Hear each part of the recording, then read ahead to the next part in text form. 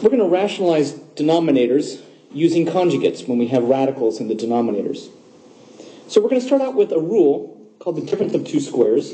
When I have a minus a plus b times a minus b, that equals a squared minus b squared. Now, the a plus b and the a minus b, we actually call these two terms conjugates of one another when we're adding and subtracting. The nice thing about this is we end up squaring each piece. And the reason this rule works is because when we multiply them out, um, the inner and the outer terms actually cancel one another out. When we're squaring each piece like this, if there's a radical, of course, that makes the radical go away, which is what we're going to be interested in doing. So let's start with our first example. We're going to have 3 over 2 root 5 plus 1. Now I'm going to look at the denominator and we have a radical there and we need to get rid of that radical. The way we're going to do that is I'm going to multiply the top and the bottom of this equation by the conjugate of the denominator. The conjugate of the denominator in this case is going to be 2 root 5 minus 1. Now, remember, you have to do it to the top and the bottom the same. Technically, I'm only multiplying this by the number 1. Up top, I get 3, parenthesis, 2 root 5, minus 1. In the bottom, I'm going to use my difference of 2 square rule above. A in this case is the 2 root 5. B in this case is the 1. So I'm going to write 2 root 5, and I'm going to square that whole thing minus, and in parentheses I'm going to have 1 squared. Up top, I'm going to use the distributive property. I'm going to get 6 root 5 minus 3. Down below, when I square the 2, I'm going to get 4. And when I square the root 5, I just get 5. Minus 1 squared is just 1. Be really careful when you square that 2 root 5. There's no distributor, uh, I'm giving a squared to both the 2, which is just 4, and the root 5 squared just becomes 5. You could make it root 25, which would still give you the 5. Continuing on, up top I have 6 root 5 minus 3. Down below, 4 times 5 is 20, minus 1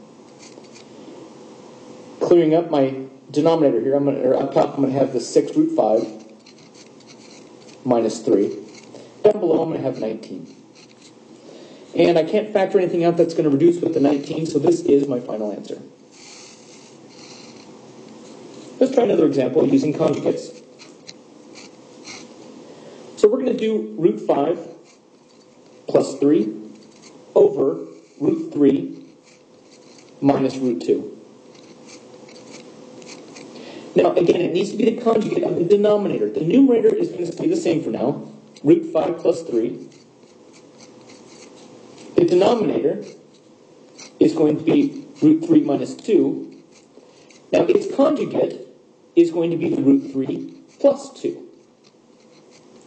Now, I need to remember to do that to both the top and the bottom, the numerator and the denominator. Up top, I need the FOIL. So I'm going to multiply the first outer, inner, last terms. So the first terms is going to be root 5 times root 3 is root 15, plus root 2 times root 5 is root 10,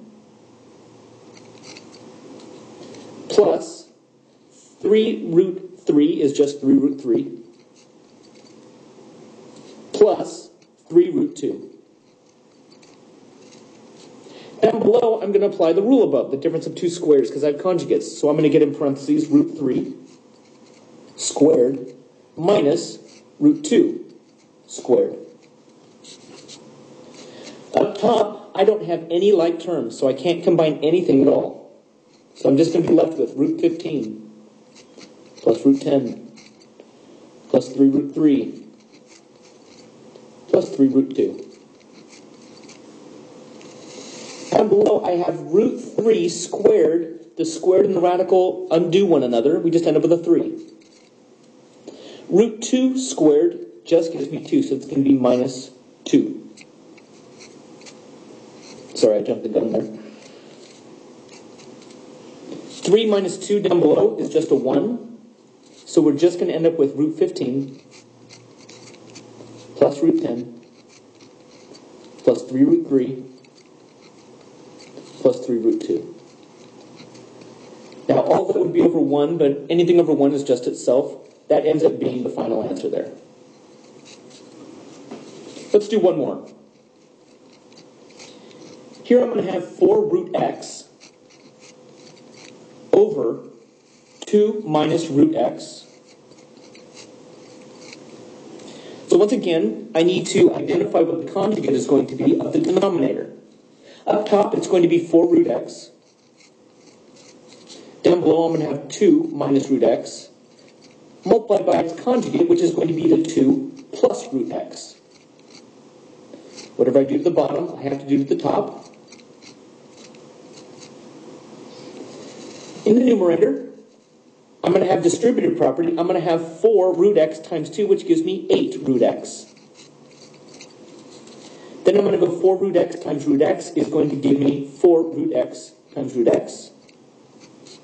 In the denominator, I, again, I'm going to apply the difference of two square rules up above, and I'm going to get 2 squared minus root x squared. Up top, I have 8 root x plus 4, and root x times root x just becomes x. We're going to assume that x is positive, so we don't need absolute value or anything crazy like that. Down below, I'm going to have 4 minus, and root x squared is just x.